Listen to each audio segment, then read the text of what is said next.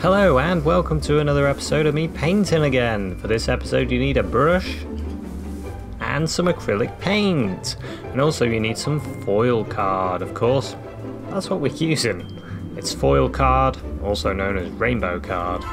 And uh, we're going to be doing our nice morning scene that I actually saw this morning using the rainbow card to do some of the uh, trickery that we we struggle a bit with the acrylics. Well, you can't really get this exact effect in a painting. So I thought, well, why not experiment a little bit? And the mirror card works for me.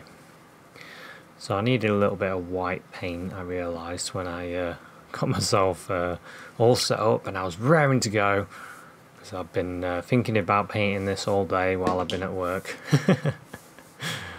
and uh, and here we go. Got a little bit of white in there. A little bit of white in my mixture. I'm just, just using uh, a palette that I had in the fridge. If you spray your paints with a bit of water, cover it with cling film, put it in the fridge, it lasts a little bit longer. This is another day, it's a day, another day old paint. Was two days? I think it's two day old paint. and it's still okay. So hopefully my camera makes this. it's a bit of a struggle with the uh, with the card. So I'm painting in some cloud shapes. As a when I was on my way to work, the uh, the sun had just started to come out. Just it's really early, and there was this great big cloud, and this the the sky was lit up all around it. I was like, whoa, that is brilliant. That is one of these skies that blows you away a little bit. And I thought, hmm, hmm, mirror card. or foil card. This is, um, I got this foil card from Hobbycraft. That's what they call it anyway, on the packet. So I'm just uh, putting in my sky. Like I said, I'm only using a few colours. Some burnt umber, some ultramarine blue, and some cadmium red, and that, and and a little bit of titanium white. And I'm just changing the uh, mixture a little bit, and get, getting getting this uh, paint on here. And you need to use a fair bit of paint to cover the foily surface, which is not the greatest surface to paint on, but if you want the effect, you kind of accept the um, the funny slippery surface. now you have to angle yourself so the uh, the shine of the foil doesn't blind you. I was getting all kinds of rainbow effects while I was painting it, and I was like trying to ignore it in a way as I'm painting, but marveling at it at the same time. I think this is a great idea. I don't know if this, I'm sure this has been done before, but I've, I've never seen it, so it's unique and new to me. So like I said, I'm just going for the darks. I'm using round strokes in areas like there just to try and get that cloudy shape, that fluffy big cloud shape. I'm leaving some gaps in between where the light is going to pass through because that's what it was like. This is what it was like when I was I was driving down the road getting that going to work feeling, you know, the uh, oh.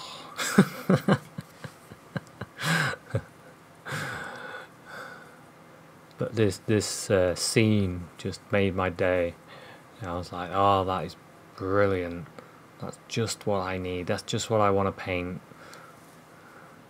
And it it's kept me uh, excited all day. Been looking forward to painting this and uh, I'm really happy. really happy. You know how sometimes you do a painting, it just makes you happy. And this is one of those, it just made me really happy. And uh, that's good. That's why I started doing paintings and drawings to put a smile on my face. And I enjoy it. It's fun.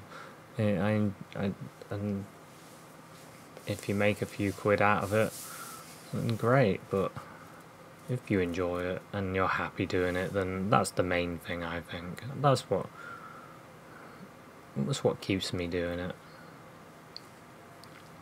So I'm just putting in some under under the cloud. I feel like I'm stroking the belly of the cloud when I'm doing this.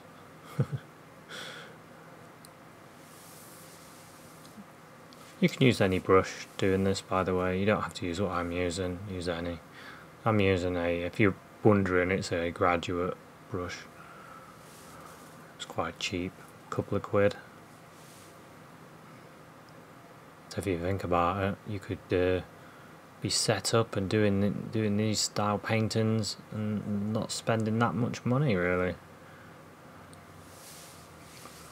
And uh, I think if you're in a, a touristy place, these would go quite well. I'm pretty sure.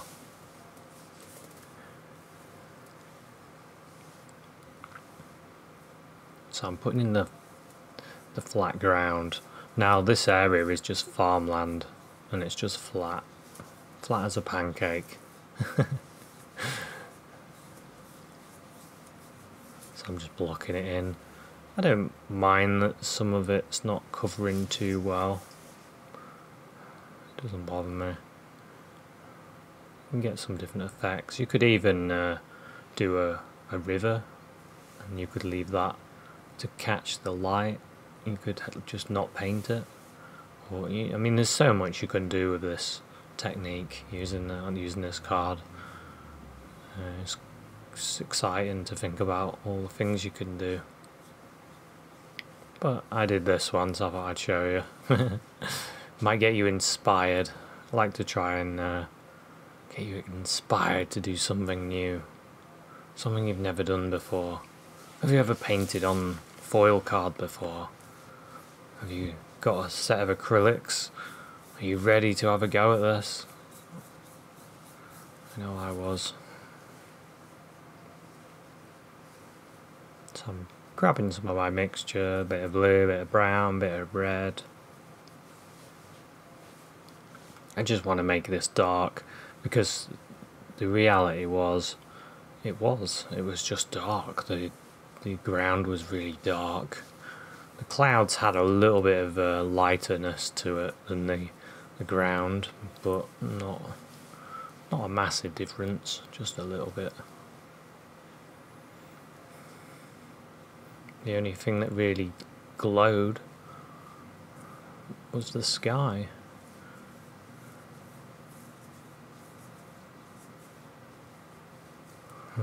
the good thing um, as well about this uh, foil card is different places. You can put it in different places in the room on the wall and it catches the light at different angles and you get all different effects.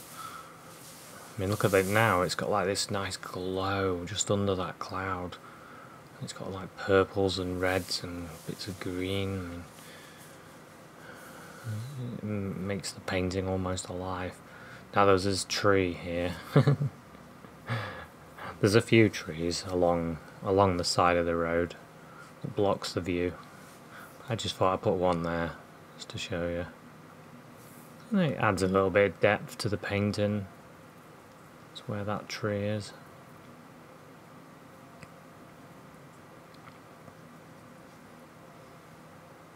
I could have used some pure black for that tree to really make it stand out. I thought it'd be alright like this.